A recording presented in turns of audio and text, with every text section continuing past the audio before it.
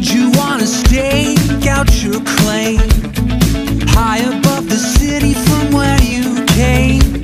But don't you know the air is so thin? Starves the brain of oxygen. No, it's such a dangerous place. For there are more ascensions than there is space. Angels cause an.